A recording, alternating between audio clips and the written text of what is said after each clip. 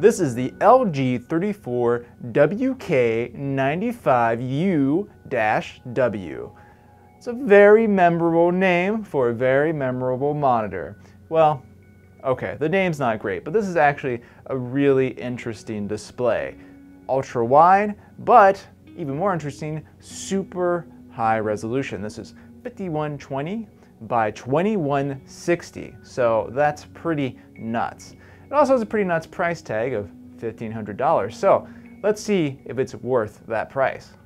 So as mentioned, 34 inch display, 21 by 9 aspect ratio. Nothing too crazy there. That's, uh, that's pretty typical for an ultra wide display these days. Now, what's not so typical is that it doesn't have a curved display. And, and that's actually really unusual for an ultra wide. The reason why it doesn't have a curved display is that this particular monitor is going for more of a professional audience rather than uh, like a gaming audience or you know watching movies on the display. So it's completely flat. Now the standout spec is again the resolution 5120 by 2160. That's an extremely high resolution for any monitor. It's the highest resolution we have seen on an ultra wide. The only thing that's going to get you a higher resolution than that is something like a uh, 5K conventional aspect ratio monitor, and that is only going to be slightly higher in resolution. Very pixel dense, super sharp image.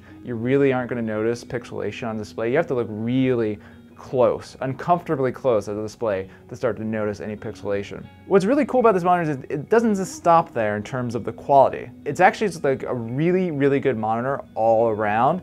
Decent contrast, the color accuracy came in a reading of 1.1, so that doesn't mean anything to you. Uh, lower is better, and anything that's under two is pretty good. Anything that's like near one is extremely good, almost perfect. So this is a very color accurate display. It has really wide color gamut, and the gamma is spot on. So what that means is that if you're viewing something on this display, it doesn't look darker than it should, it doesn't look lighter than it should, it looks just the way that it should. So overall, it's one of the best image qualities we've seen on the monitor, whether it be uh, ultra wide or not. And that really makes sense considering, again, the audience. Like, as, as I said, this is meant for professionals. It's meant for people that really care about image quality. And if that sounds like you, I think you're really gonna like the way this monitor looks. Now, it's not to say everything is perfect on the display. There are a few downsides, mainly in refresh rate. It's a 60 hertz monitor, which is fine, like that's what most monitors are, but there's a lot of uh, high-end monitors these days that have a higher refresh rate, usually ones that are going for a gaming audience. And you're not gonna find this here. You're also not gonna find uh, adaptive sync here, so your video card's not gonna be able to talk to the monitor to get a smoother gameplay experience. Again, that really goes to the target audience of this monitor. It's not really meant for gamers, so if that's what you're looking for, uh, despite the image quality, you might wanna look elsewhere.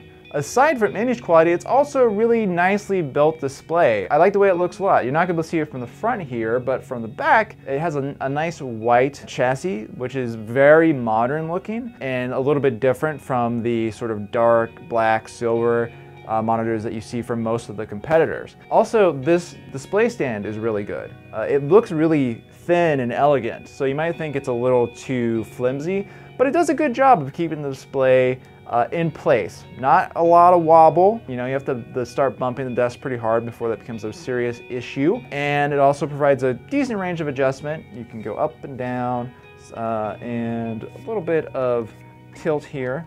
Uh, you don't get any swivel, uh, which is, I would have liked to have seen that. Um, and it's not gonna rotate, but most ultra wide monitors don't. Now also, the connectivity is pretty interesting on this monitor. It's got uh, two HDMI, it's got DisplayPort, but what's really interesting is it has the USB Thunderbolt 3 connection. So that means you can do that one wire connection from a laptop or a desktop uh, to this uh, display, and that's gonna get you a really easy to use input. Also, the connections here are all rear facing and not downward facing. So that's sort of a, a small thing, but It basically means that it's a little bit easier to reach around and put a connection into the back of this monitor. It does have the slight downside though that if you wanted to like wall mount this, that's going to become an issue. Otherwise though, I do actually think that this sort of rear facing connection is the better way to go. Now, in terms of controlling the monitor, you've got a joystick style control, and that's found in the center here. So it's really easy to use. These can get a bit complicated sometimes, especially if they're not very responsive, which we have seen on some competitors. This one's very responsive, so it feels pretty nice to use and it's not too confusing. Also, there's a lot of adjustment options on this monitor, particularly as it relates to image quality. So you can adjust things like the color temperature, you can choose from a few gamma presets. There's color gamut and saturation and hue settings. So you can really customize and tweak the monitor to fit whatever image look you need for your work. So overall, this is a great monitor, great image quality, great connections, you know, good controls. The only catch is the price. $1,500, that's a lot of money. And this is a 34 inch display, which these days isn't actually that big. Believe it or not, we recently reviewed some 49 inch uh, ultra wide monitors and those were actually one of those was less expensive than this one and the other one was only about 100 bucks more. So you're not getting like a big display for your money and that's really the only issue here. We have long recommended samsung's cf791 as kind of like the leading ultra wide monitor. If you just want one that looks good overall and is good across the board that's the one to get and despite all its good qualities, the price means this LG is not going to change our recommendation there. However, if you want the best image quality that you can get in an ultra wide, if you want the highest resolution get in ultra wide, then this is the monitor to get because we have tested quite a few of them at this point, and in terms of image quality, this does beat them all.